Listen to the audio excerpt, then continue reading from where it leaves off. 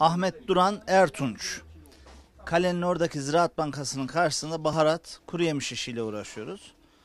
Kurbanda satışlarımız iyiydi hamdolsun. Kurbanda Kayseri'nin e, meşhur sucuk pastırma yapımı ünlü. Biz de sucuk malzemesi olarak bayağı yoğunduk hamdolsun. Eskiki bayramlar kalmadı tabii. Gerek yurt dışına yapılan bağış, kurbanların bağışı, gerekse hayvanların pahalı olması. e, bir de yaza gelmesi en önemli şeysi. Sucuk yapımı eskiki gibi kalmadı. Ama yine hamdolsun iyiydi. Geçen yıllara göre her sene düştü. Niye düştü? Yaz mevsimi olduğu için. İnşallah kışın daha da artar. İşlerimiz iyi. Sonsuz şükür. Şimdi de gurbetçi zamanı. Memnunuz. Elhamdülillah çok şükür.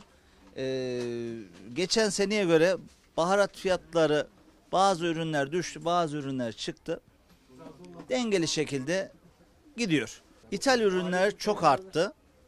İthal, ithal ürünlerde artış var. Diğer yerli ürünlerde sıkıntı yok. Bağırsak özellikle bu sene sakatat fiyatlarındaki artışla birlikte o da arttı. Ee, bağırsak normalde 1 lira 1,5 liraydı. Şimdi 2,5 lira metresi. Ee, satışlarımız iyi memnunuz çok şükür. Son olarak e, inşallah gurbetçi kardeşlerimiz geldi. Hepsine hoş geldiniz diyoruz.